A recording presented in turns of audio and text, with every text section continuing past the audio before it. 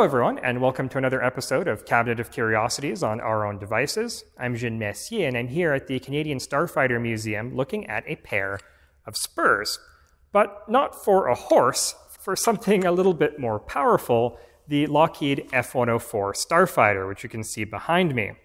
Now, starfighter pilots were quite fond of wearing these, they became known as cowboys for it but the purpose of the spurs themselves is a little less glamorous because these were part of the aircraft's escape system, the ejection seat.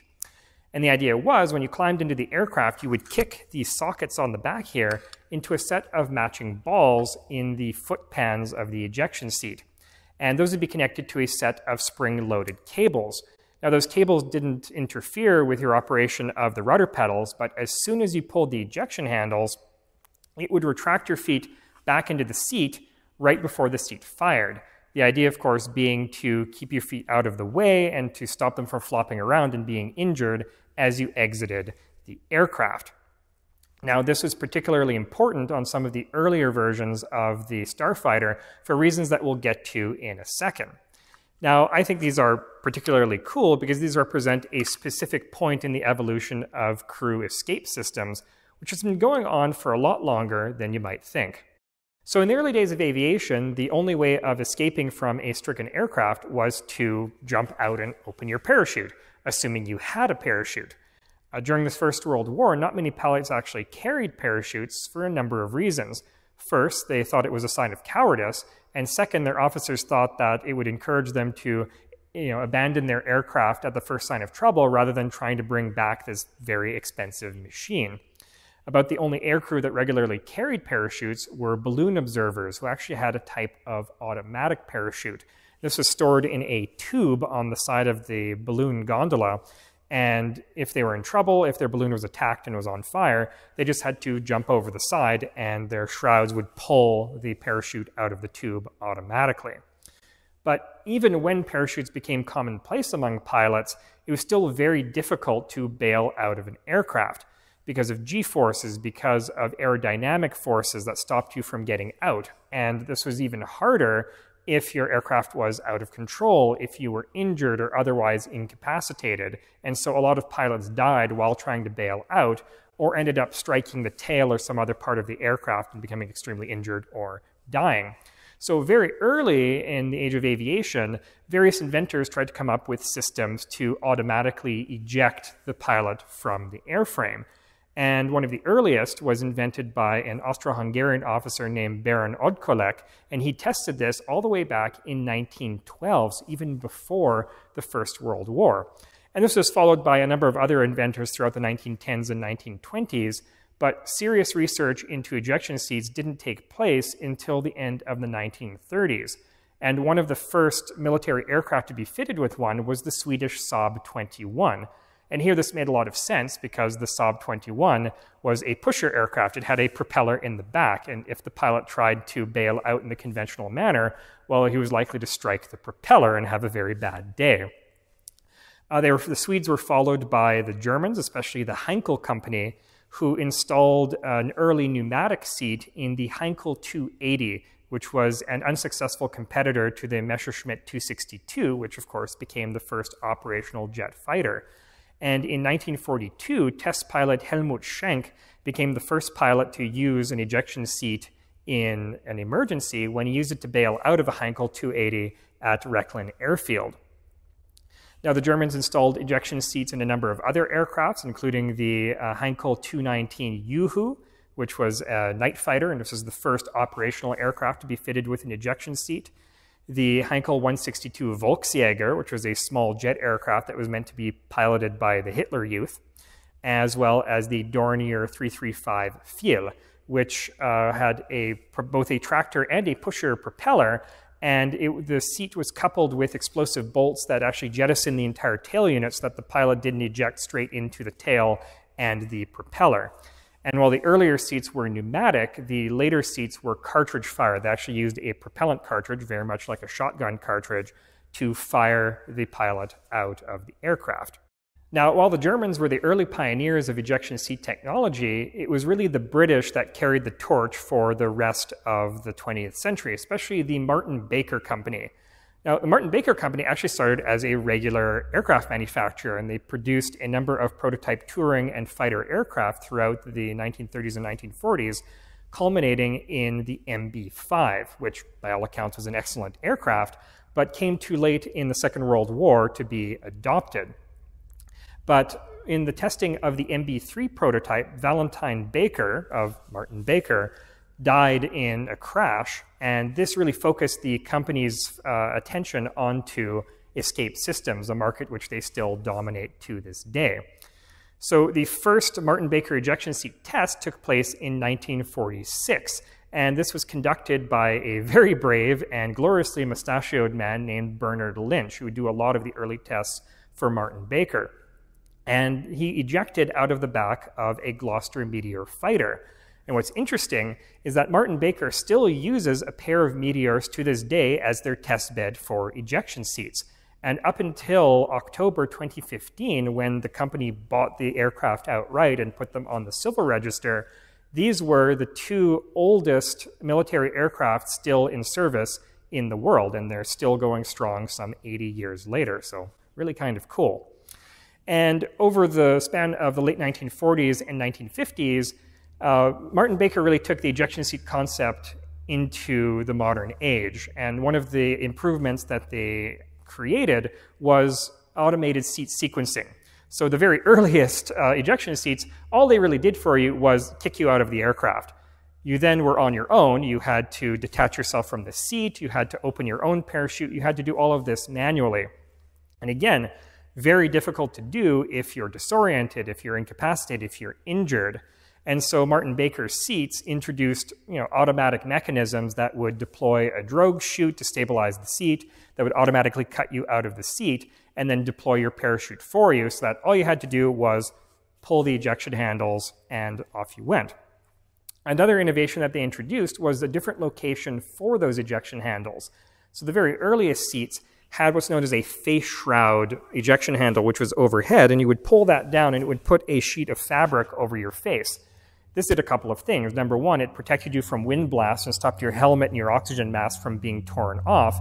And it also put you in a proper position with your elbows in so that you wouldn't get injured exiting the aircraft.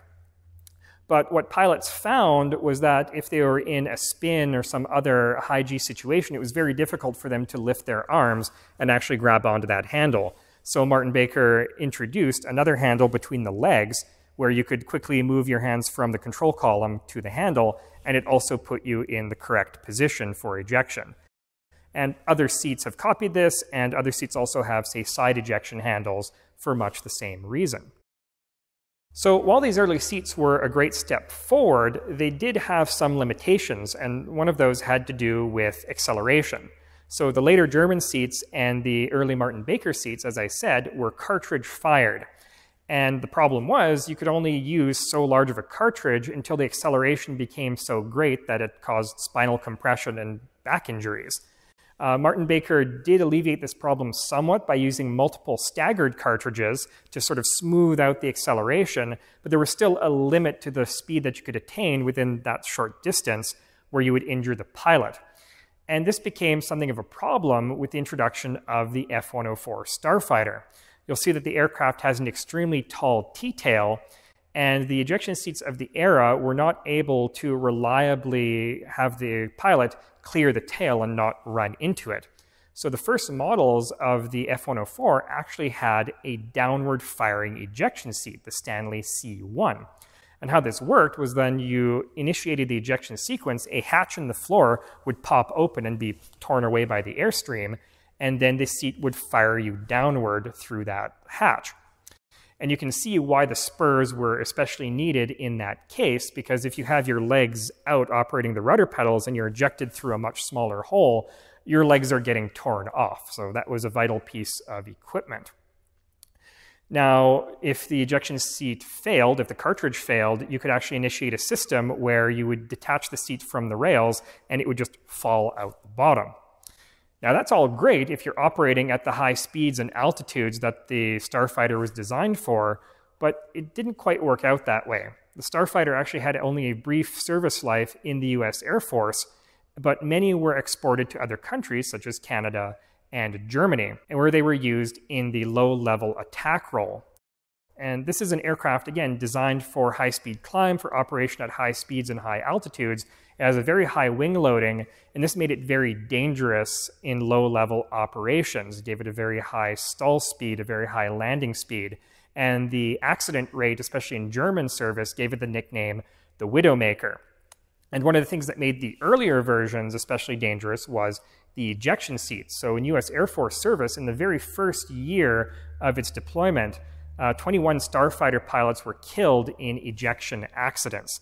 So this led them later to install upward firing ejection seats. But that actually didn't stop the deaths because as sort of a stopgap measure, pilots were trained, if possible, to turn their aircraft over, to roll it over and eject upwards. This would give them a little bit more altitude in which to deploy their parachute. The problem was when they switched to upwards firing ejection seats, a lot of the pilots retained this training, and when it came time to eject, they resorted to muscle memory, rolled the aircraft over, and ejected themselves downwards right into the ground. So, a couple of interesting details to point out on this Stanley C2 seat.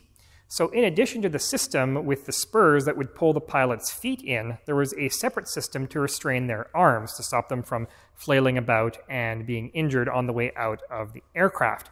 And that is this system of webbing straps right here.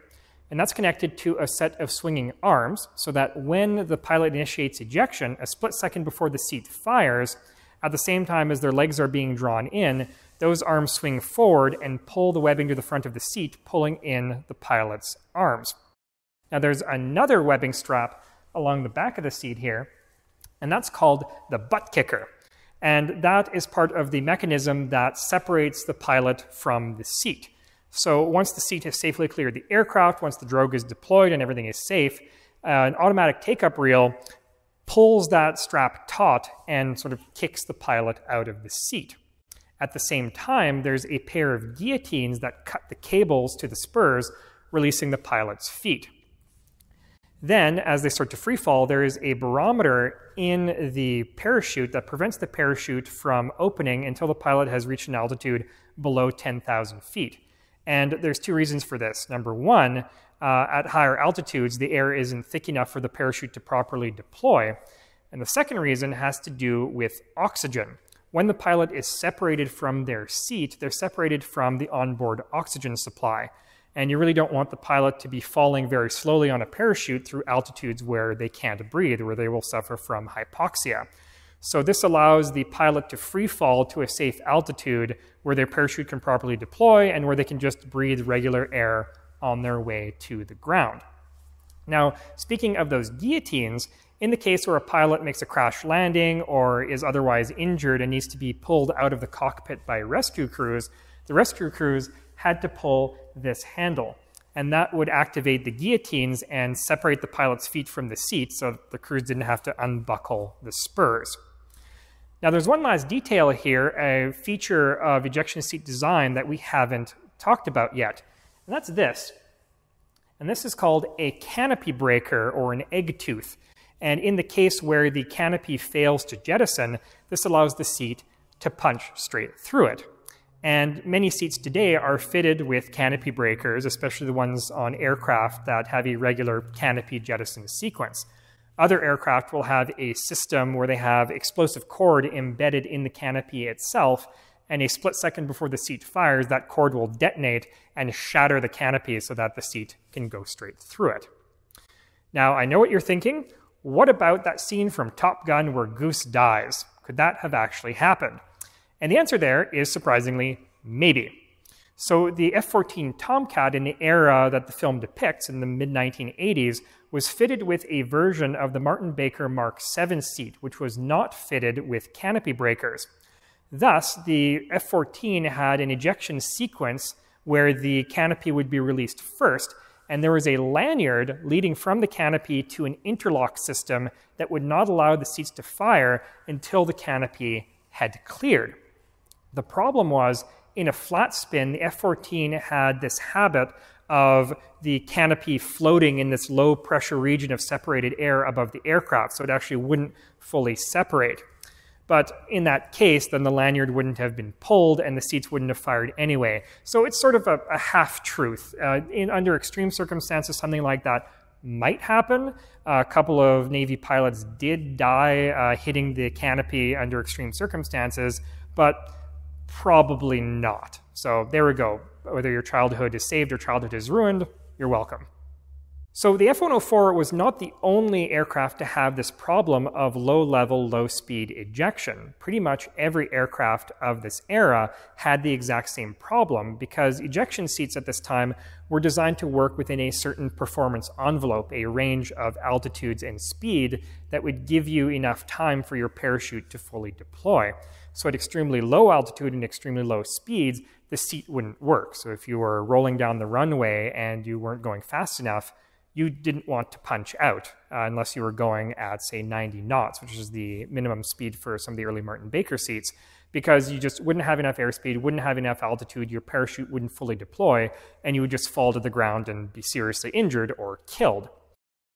And because of this problem, uh, companies like Martin Baker developed what's known as the zero zero seat, which stands for zero airspeed, zero altitude. And these get around that acceleration problem with the cartridge by using a small rocket motor, which allows for more gradual acceleration and also allows the seat to rise to a much greater height, giving it time to deploy the parachute. And the parachute deployment is also much faster because of a, it's essentially a mortar that fires a little slug attached to a cable to the parachute that literally shoots the parachute out of its container so that it can deploy very quickly. And using a zero zero seat, you can be sitting on the runway on the tarmac at zero speed, pull the ejection handles, and you will automatically be deposited on your parachute quite safely. So you don't really have to do much thinking other than pulling the ejection handles. And this is a great boon for pilots, as an Israeli pilot learned in a rather amusing incident in 1985.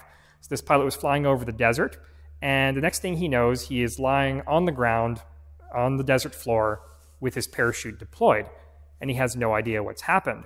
It's not until he removes his helmet and notices that it's spattered in feathers and blood that he realizes what's happened. He suffered a bird strike, and the bird went straight through the windscreen and hit his head, knocking him unconscious, but also hitting his upper ejection handle and ejecting him. So it both destroyed his aircraft and almost killed him, but also saved him at the same time.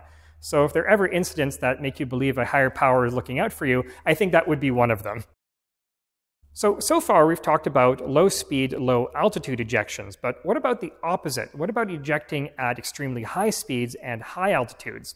Well, in the late 1950s, early 1960s, when aircraft started reaching speeds of Mach 2 or even Mach 3 in the case of the A-12, the SR-71, or the XB-70 Valkyrie, designers became concerned that pilots wouldn't be able to survive ejection in these conditions using regular ejection seats. The wind blast would be too strong, the atmospheric frictional heating would be too great. So a number of companies, including Stanley, which developed the early seats for the F-104, started developing crew escape capsules to protect pilots in these conditions. And so one of the most famous of these was developed for the B-58 Hustler supersonic bomber. And it was this little egg-shaped capsule that was integrated around the ejection seat. And the pilot could pull a set of handles and a door would close down the front and seal him inside and the control column and the throttle were still actually inside the capsule, so you could continue to fly the aircraft while he was all turtled up. And then if he decided he wanted to eject, pulled another handle, and the whole capsule left the aircraft, protecting him from the wind blasts and the heating. And when it landed, if he happened to land in water, the capsule was buoyant, it acted as a life raft. And interestingly enough, they tested these by using anesthetized bears uh, which they thought you know were the same size and build physiology as humans. And so the very first creature to survive a supersonic ejection was actually a black bear. Now, similar capsules were developed for the XB-70 Valkyrie, only in this case, the seat was actually separate from the capsule, and when you pulled the ejection handle, the seat would retract into the capsule, it would close and eject you. And in 1966, uh, when the Valkyrie prototype was lost in a, a tragic air collision, uh, the pilot of the Valkyrie was actually seriously injured when his arm got caught in the closing door. He survived, but his co pilot was not as lucky. Another way of going about this is to eject the entire cockpit itself, and this was used on the General Dynamics F-111 Aardvark, as well as early versions of the B-1A bomber, although this was later deleted for weight considerations. Now, despite all this work on sophisticated crew escape capsules, it was later discovered that due to the atmosphere being thin at high altitudes, the wind blast from supersonic ejection actually wasn't all that bad. And so pilots of the A-12 and the SR-71 just used regular ejection seats with protection being provided by their pressure suits. And in a discussion of bizarre ejection systems, I would be remiss if I didn't mention the Stanley Yankee escape system, which was developed for use in the Skyraider. And the thinking behind this was okay, ejection seats are great, but they're heavy, and do you really need all that weight? Why not just yank the pilot out and nothing else? So the Yankee system consisted of a pair of tractor rockets mounted in the rear of the canopy and when the system was initiated, those would be launched out until this very long cord attached to the pilot's harness went taut. The rockets would ignite, they were spin stabilized, they rotated around an axis, and then it would yank the pilot bodily out of the aircraft and allow him to deploy his parachute. So, really bizarre way of going about it, but hey, it works. So, there you have it a very brief history of ejection seats, still a vital piece of aviation safety equipment to this day saves thousands of lives. According to Martin Baker's estimates, their products specifically have saved over 7,500 lives since they went into business. Now, a special thanks to Steve Pajot of the Canadian Starfighter Museum, as well as the heritage staff at 17 Wing for lending me those spurs, as well as this rather fetching Royal Canadian Air Force tartan bow tie that I'm wearing. Anyway, that's all I have for you today. Thank you so much for watching, and I'll see you next time on another episode of Cabinet of Curiosities, where we'll have a look at another fascinating artifact, just like those spurs. Until that time, I'm Jean Messier from Our Own Devices. Have a great day.